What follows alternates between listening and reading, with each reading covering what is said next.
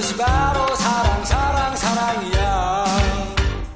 절부지 어렸을 땐 사랑을 몰라. 세월이 흘러가는 사랑을 알지.